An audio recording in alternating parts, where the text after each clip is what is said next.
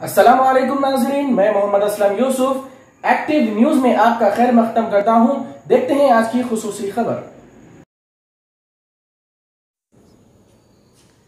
Srisailam killed in power outage.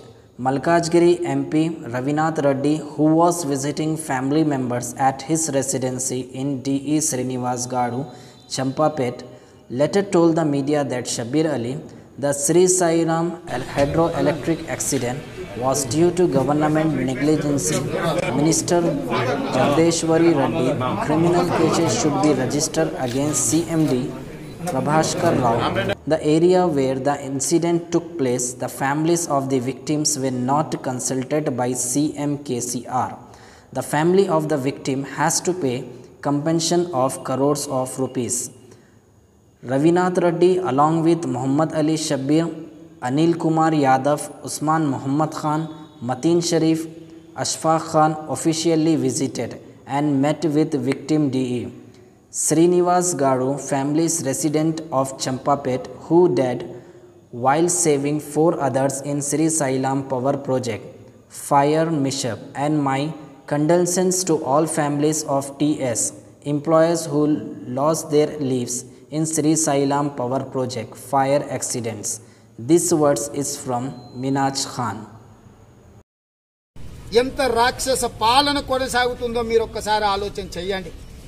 నిన్నటికి నిన్న కనీసం మేమైనా వెళ్ళి అక్కడ జరిగిన సంఘటన వివరాలు తెలుసుకొని బాధిత కుటుంబాలను పరామర్శించి వాళ్ళకు ఒక భరోసా ఇచ్చి దుర్ఘటన నుంచి బ్రతికిన వాళ్ళను కలిసి మాట్లాడి ఎలా ప్రమాదం జరిగిందో కనుక్కొని అధికారులకు వివరిద్దామంటే మేము అక్కడికి వెళ్తే పోలీసులను పెట్టి నిర్బంధించి పోలీస్ స్టేషన్లలో బంధించి అర్ధరాత్రి వరకు పోలీస్ స్టేషన్లో కూర్చోబెట్టి మా ఇంటి దగ్గర తెచ్చి మా గేటుకు తాళం వేసిపోయే పరిస్థితి వచ్చిందంటే ఈ రాష్ట్రంలో ప్రజలు ఎన్నుకున్న ప్రభుత్వం నడుస్తలేదు పోలీసు రాజ్యం నడుస్తుందన్న సంగతి ఈ సందంగా ఈ స- ఈ సందర్భంగా తెలంగాణ సమాజం గమనించవలసిన అవసరం ఉన్నది.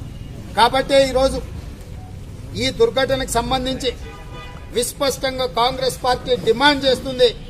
ఈరోజు ఈ సంఘటనలో మరణించిన ప్రతి వాళ్ళకు కోటి రూపాయల నష్టపరిహారం ఇవ్వాలి. నిన్నగాక మొన్న వైజాగ్లో ఎల్జీ పాలిమర్స్ గ్యాస్ లీక్లో చనిపోతే అది ప్రైవేట్ కంపెనీ. చనిపోయింది సామాన్య ప్రజలు. అయినా జగన్మోహన్ రెడ్డి గారు ఆ రాష్ట్రంలో కోటి రూపాయలు సామాన్యులకు కూడా నష్టపరిహారం ఇచ్చారు ఇక్కడ ఈ సంఘటన ప్రభుత్వం నిర్లక్ష్యం వల్ల కేసీఆర్ జగదీశ్వర్ రెడ్డి గారి విడదోరుల వల్ల ఈ సంఘటన జరిగింది. వీళ్ళు ప్రభుత్వ ఉన్నతాధికారులు ఇంజనీరింగ్ చదువుకున్న సమర్థవంతమైన అధికారులు. ఇవాళ ఫాతిమా ఇరవై నాలుగు సంవత్సరాల ఇరవై ఒక్క సంవత్సరంలో ఏఈగా జాయిన్ అయిందంటే ఆ అమ్మాయి ఈఎన్సీగా రిటైర్ అయ్యేది. ఈ రోజు డీఈగా ఉన్న శ్రీనివాస్కు ఇంకా రెండు వేల రెండులో ఉద్యోగం వచ్చిందంటే పద్దెనిమిది సంవత్సరాలు తన ఉద్యోగ కాలాన్ని పూర్తి చేసుకున్నాడు. ఇంకొక పద్దెనిమిది సంవత్సరాల సర్వీస్ ఉందంటే అతను కూడా ఈఎన్సీ వరకు ఈరోజు ఒక ఉన్నతాధికారిగా ఎదిగేవాడు. అర్ధాంతరంగా ప్రాణాలు కోల్పోయిన వీళ్ళకు కోటి రూపాయలు నష్టపరిహారం ఇవ్వమంటే ప్రభుత్వం నిమ్మకు నీరెత్తినంతున్నది ఒక్క మాట కూడా మాట్లాడతలేదు. అదేవిధంగా కుటుంబంలో కూడా అదే హోదాతో ఉద్యోగం ఇవ్వాలి ఒక ఐదు వందల గజాల ప్లాట్ ఇవ్వాలి. ఈ దుర్ఘటనకు కారణమైన ప్రభుత్వ అధికారులే కాకుండా మంత్రుల మీద కూడా విచారణ జరగాలంటే సిబిఐ విచారణకు ఆదేశించి నిష్పక్షపాతంగా విచారణ జరిగి చర్యలు తీసుకోవాలని కాంగ్రెస్ పార్టీ డిమాండ్ చేసింది. అయినా ప్రభుత్వం వైపు నుంచి ఎలాంటి స్పందన రాలేదు. ఏది ఏమైనా ఈరోజు కోటి రూపాయల నష్టపరిహారం గురించి వాళ్ళ కుటుంబంలో ప్రభుత్వ ఉద్యోగం గురించి వాళ్ళకు ఒక ఐదు వందల గజాల ప్లాట్ హైదరాబాద్లో ఇచ్చే విధంగా దీనికి సంబంధించి పూర్తి స్థాయిలో దోషులను శిక్షించాలంటే సిబిఐ విచారణ జరగాలి.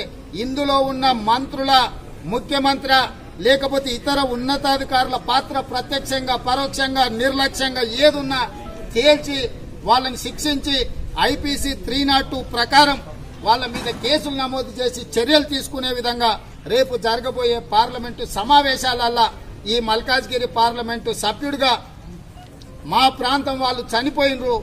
మా సొంత ఏరియా అచ్చంపేట.